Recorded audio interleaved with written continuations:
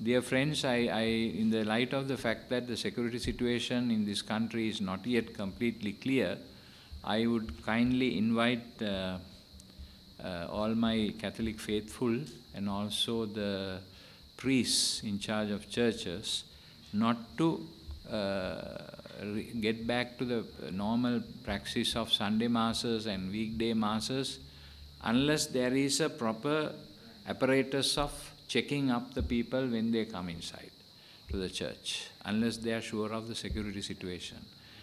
Uh, you can't gather too many people in the church, so uh, each parish priest will, uh, if it is possible, see that uh, these masses are sort of, you know, low-keyed in some way until the security situation improves. Then we will be able to ask them to have the normal masses also no festivals and no processions with the people until the situation is cleared up. Uh, with regard to wedding masses, also there you have to part, get the wedding party to help you to discern uh, uh, whether this wedding should go ahead with how many people and all that, so that things are under control. There's no risk of any more people getting killed due to this kind of activity.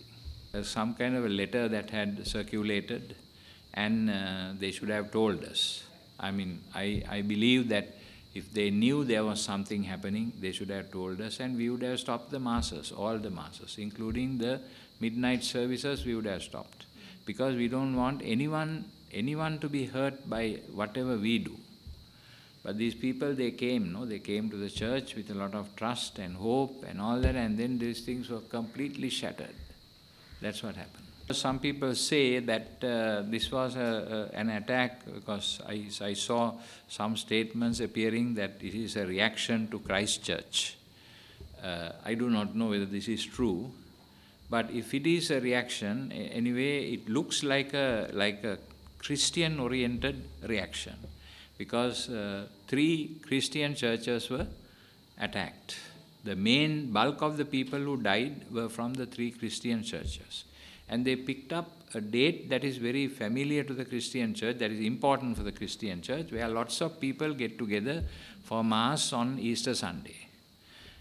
Then the three hotels, uh, they were organizing Chris, uh, Easter breakfast, like a brunch for families. They had advertised it.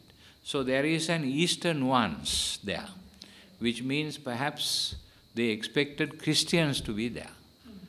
Unfortunately, it is not only Christians, even Muslims have died in that kind of attack. And I must say that in one of our churches uh, at uh, Katuwapitiya, a Muslim girl has died because she came with her friend to the church and she also got killed. So these bombs don't know which religion you belong to. so that's why it has happened like that.